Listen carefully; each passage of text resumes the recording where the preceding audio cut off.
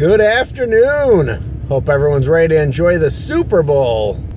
Just getting back from Algonac listing appointment. Love going out in that area. Had two great closings. Very happy buyers and sellers last week. Market's still on fire. When you're ready, give me a call. Happy to help you. Connon sells everywhere. Have a great day.